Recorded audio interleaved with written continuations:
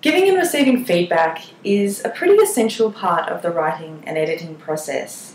It can help you to feel a sense of community with other writers and editors, and most importantly, help you to understand what parts of your story are working and what parts aren't.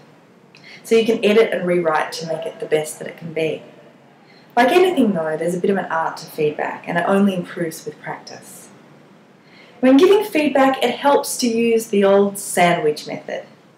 Most people hate the idea of this because it seems contrived, but solid critical feedback isn't spontaneous. A good reader looks at their initial response and goes deeper to find the core of the problem beyond, I just don't like it. The sandwich method is to talk about what's working in a story, then what's not working, and then finishing with a strong point on the work. In other words, the critical feedback is sandwiched between two positives. It helps the writer to accept feedback in their story in a constructive way. An example might be Your story has great sub characters and a really vivid description. The main character doesn't feel full to me. Nothing changes for them and they're really removed from the action.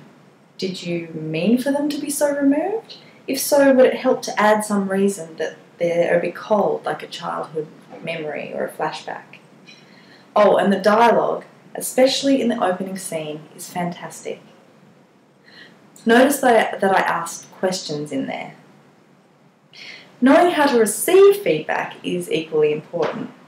Remember that feedback is just that suggestions to help you with your story. Take every suggestion seriously and also be equally serious about how you might apply it to your work.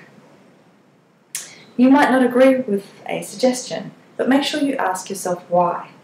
You need to be able to fight for every word and every line in your story.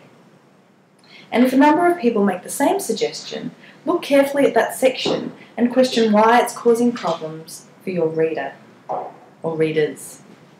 You might find a different solution to what has been suggested. Just make sure the solution isn't, but I like that line.